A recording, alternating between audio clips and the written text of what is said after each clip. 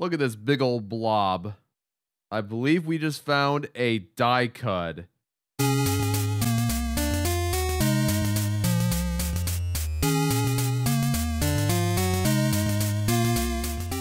Hello, coin enthusiasts out there. It is I, Dax Collects, and we have six penny boxes right in front of us here in this video. We are going to open two of these penny boxes up. Let's see what we can find inside of these boxes here. Before we find out which of these boxes will be opened up in this video, if you haven't seen my last penny box video, which I would highly recommend, I'll put the card right up here for you. Let's just say I found my most valuable penny yet in that video. So give it a watch if you have any time. Now, we're going to roll this die twice, and this will determine the two boxes for the video. So crown is a crown, and six is a six. Crown two, three, four, five, six. All right, let's see. Three this box here is the first one.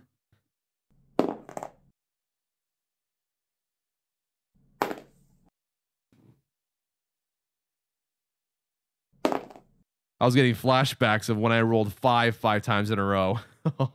I was thinking, how many times are we going to find threes? This time it was only three times, which is still not very often. Five. So this one here is the first one. And let's find out which one is the second.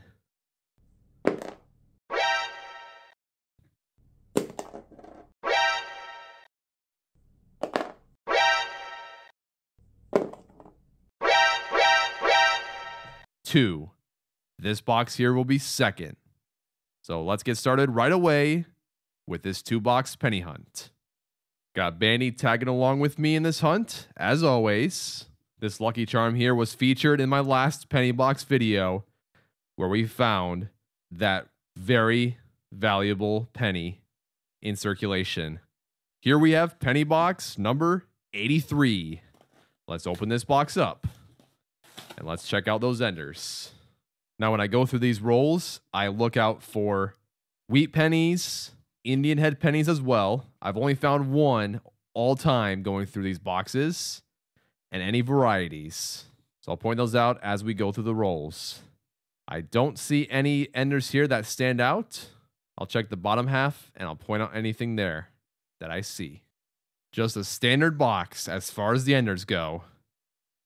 So now it's time to go through these rolls. Now here we go for the 83rd time, folks. Let's see what this penny box has to offer. Let's get started right away. So, with that being said, let's get right into it. We are off to a slow start with this box here. Our first find is inside of roll number 12. Here it is. Starting off with a Canadian penny with the tiara obverse design, showing Queen Elizabeth wearing a tiara. And this one is from the year 1969. The only Queen Elizabeth tiara penny that I'm missing is the 1985 pointed five, but we'll still check all of the Canadian pennies we find for upgrades. Just a few pennies later, on the very same roll, we found our first wheat penny, and it actually looks pretty nice. Look at that. Not in the worst shape. Probably from the 50s, but it could surprise us. Maybe it'll be earlier than that. Let's find out. We have a 1958 Denver right here, the final year of the wheat penny. Now, here's a nice find. Inside of roll number 17, we have an old Canadian penny. I tend to find one of these per two box hunt they seem to be kind of common where I live. We have Queen Elizabeth II with the laureate portrait design from the year 1957. Right now, we're only missing two laureate portrait Canadian pennies to complete the set. But we will still check this 1957 later on to see if it upgrades. And now we found wheat penny number two of the box inside of roll number 23. We have a 1953 minted in Denver. Very common wheat penny. Find tons of these in the circulated boxes. Still not finding a lot of wheat pennies in this box. Here's our third one. Inside of roll number 28. 1956 Denver. Once again, a very common wheat penny. Nothing too special about this one. After opening two more rolls, we found another Canadian penny. This is number three of the box. 1970. And of course, showing the Tiara obverse design. This box is starting to heat up. Inside of the very next roll, here's wheat penny number four. Let's take a look. 1951, Philadelphia. We have two finds inside of roll number 37. We have one wheat penny right here and another right here. Our second 1958 Denver. Well, let's check out this one.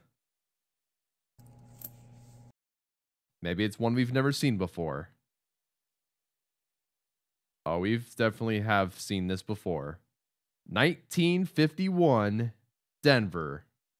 And here is the 58 Denver right here. Not as nice as the first one that I showed you guys, but still wheat penny regardless.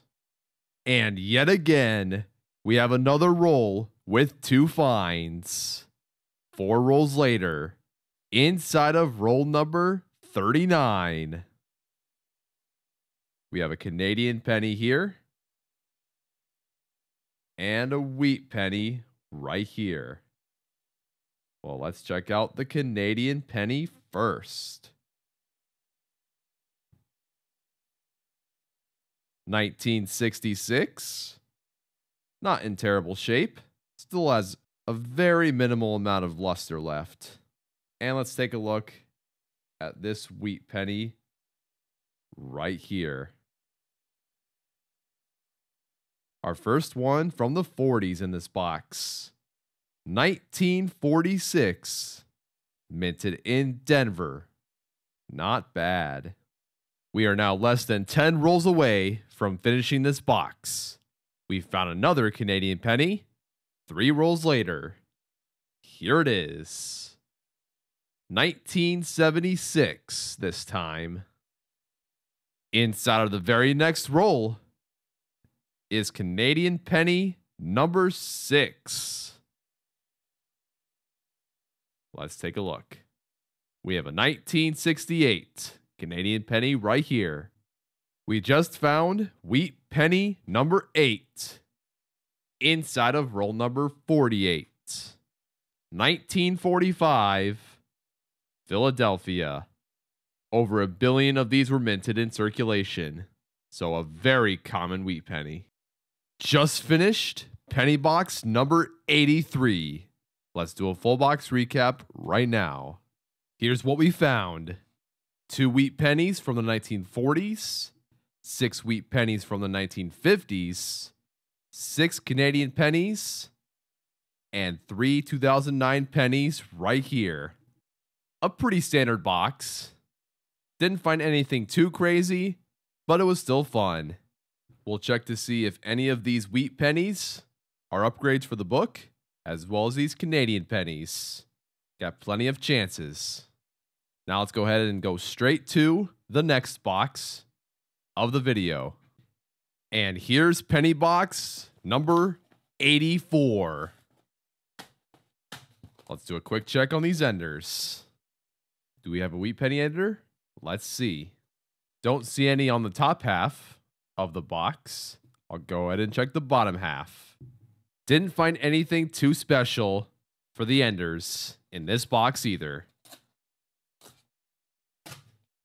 Our last box had eight wheat pennies. Let's see how many we can find in this box. Let's see if there are any additions inside of this box. Let's get started right away. So, with that being said, let's get right into it. We're off to a great start with this box. Inside of the very first roll, here's our first wheat penny. And in pretty good shape. 1953 Philadelphia. Look at that luster. Beautiful. Now, check this out. Inside of roll number three, we have a wheat penny right in front, and also just behind the first wheat penny. So we have two of them. First one is the 1956 Denver right here. And just behind that is a 1941 Philadelphia. Both common wheat pennies. So nothing too fancy. Let's keep looking. Five rolls into the box. We found our first Canadian penny of the box. It's a 1972 Canadian penny right here. Love seeing these wheat pennies right off the bat.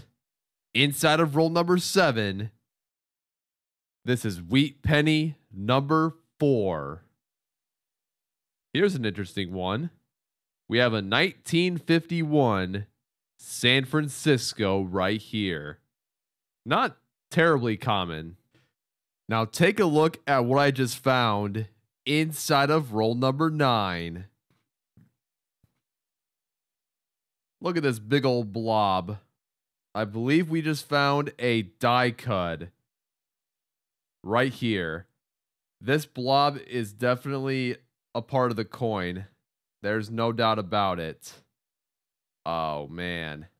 Now normally when you find something like this, you take a look at the reverse and wherever you have that die cud at, there's like a weakness on the reverse of the coin where it is. Since it's right in between the E and C, you can't really see it.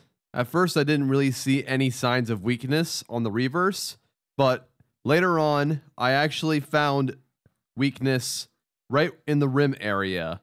So just under the E and C, it's a little bit weaker than it should. Obviously, the whole rim should show. That area there is weak. And it's not really that big of a die cud. Still a really cool find. I'll show you guys the edge as well. Here's the coin. There is no damage to the edge of the coin. Kind of coincidental that we found a die cud penny from the year 1984 in penny box number 84. Funny how that goes. All right, let's keep on going. Okay, it is now the next day, September 11th, 2024. Let's finish this box up today. We are currently on roll number 19, and we have two Canadian pennies inside of this roll. One right here, and one right here.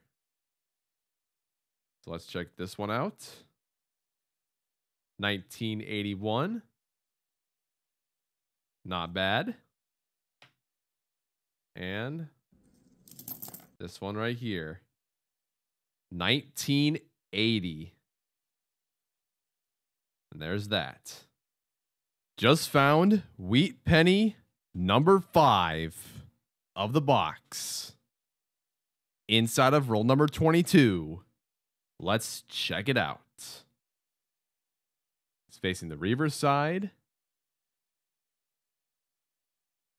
1946, Philadelphia. Very common wheat penny right here. And now we found Canadian penny number four, two rolls later. Here it is. We have a 1987 right here. The edge is a little different compared to the ones that we've seen in this video. This one has a 12 sided edge. Another three rolls into the box. we found wheat penny number six. Definitely looks like a 50s wheat penny. Let's take a look. 1957, minted in Denver. A few pennies later into the roll, here's another Canadian penny. Let's take a look at this one. 1973. Seven more rolls into the box. Here's another wheat penny. We have a 1958 Denver right here. We have two wheat pennies inside of roll number 38. We have one right here, and then there's another one right here. Point it. I'll show you guys what this one is right after this one. The second wheat penny is from the teens. But let's see when this coin was minted.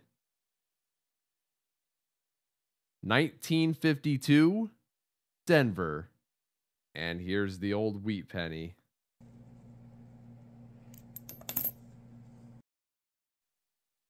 In very, very slick condition here. It's very slick. You can barely make out the details. But here it is. We have a 1918 Philadelphia wheat penny. Have found a couple of these in the past. It's fairly common, but still a wheat penny over a century old. And that is awesome to see. Here's another wheat penny. I thought this was an old wheat penny, but it's not. This is our second 1946 Philadelphia Wheat Penny. Just finished penny box number 84. Here's the full box recap. We found a 1918 Philadelphia wheat penny in this box, three wheat pennies here from the 1940s, six wheat pennies here from the 1950s, five Canadian pennies, 10 2009 pennies, and one small die cud error right here from the year 1984, Philadelphia. Besides the die cud penny we found, this was a very standard box. Did not find any additions to the books. So we will check all these for upgrades very shortly. But first, let's go ahead and bring down all the finds of the two boxes and do a two box recap. Here's all we found in this two box penny hunt one wheat penny from the teens, five wheat pennies from the 40s, quite a few from the 50s.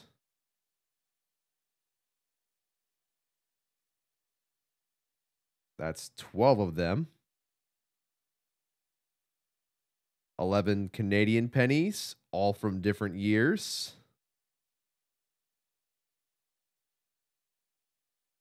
Thirteen 2009 pennies. And that small die cud penny right here. So even though no additions were found in this two box penny hunt, still had a good time. Now, let's go ahead and weigh these 2009 pennies here and check for the copper variant. They have to weigh 3.1 grams, just like a regular copper penny. I'll be right back once I have finished weighing all of these pennies here. Did not find any copper pennies from 2009. Before we start going through the collection books, let's put this penny here inside of a coin holder. Beautiful. Let's start with the Lincoln pennies first.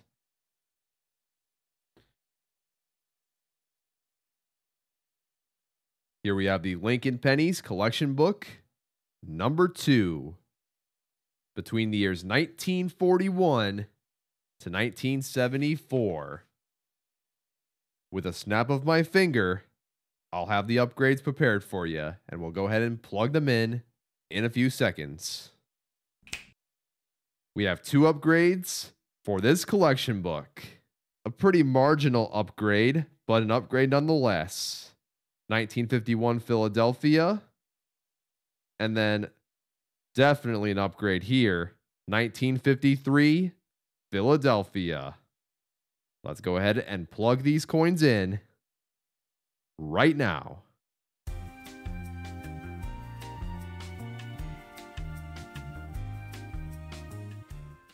There we go.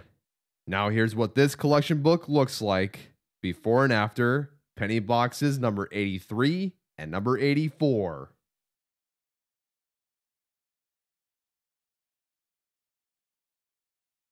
Very happy with the upgrades. Still stuck on the two 1943 steel pennies here. Here's the funny thing though. I went to my local Coinstar where I live and I found two steel pennies at that Coinstar. Someone must have dumped in these coins and it was rejected because obviously they are magnetic. They don't take any magnetic coins. But I found a 1943 Philadelphia and a 1943 Denver. So, pretty cool stuff. Now, am I going to plug these into the book? Absolutely not. Just thought I would share that. We're still going to try our best to find those steel pennies, as well as find any more upgrades to make this book stand out just a little bit more. Now let's go ahead and close this book. Next up is this one Lincoln Pennies Collection Book number one between the years 1909 to 1940. Now, I did put a placeholder penny in the 1924 Denver spot. We found it, just did not feel comfortable putting in there for a coin that has a very, very low mintage. Now, here's that 1918 wheat penny. Let's compare the two. It's a very close call. Usually, if it's too close to call, I won't upgrade. As it stands, we have still found 40 wheat pennies for this collection book. We will continue our grind to find these missing wheat pennies in the future. Now let's go ahead and close this book. And now we have one last collection book here that we're going to check for upgrades. Canada Small Cents collection book number one between the years 1920 to 1988. And we have one upgrade 1980. Let's plug in this Canadian penny into the collection book.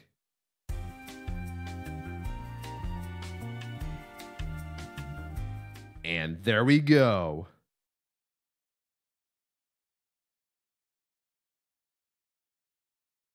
Very happy with the upgrade. Still missing a few KG6 Canadian pennies, of course, and the two Laureate Portrait Canadian pennies. So we'll continue our grind to find those out there in circulation in the future. Let's go ahead and close this book. Now, as for these Canadian pennies, We'll put them in this Ziploc bag with all the other foreign coins. Now we have one thing left to do.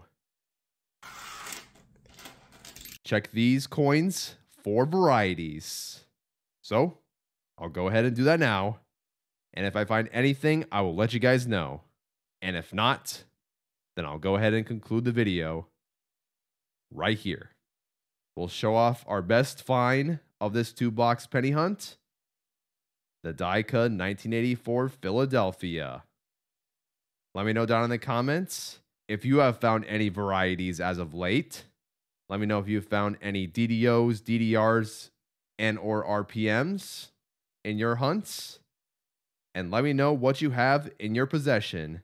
Those include any wheat pennies, Indian head pennies, flying eagle pennies, or anything older than that.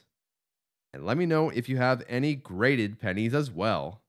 I would love to hear what you guys have in your collection. Another two box penny hunt in the books.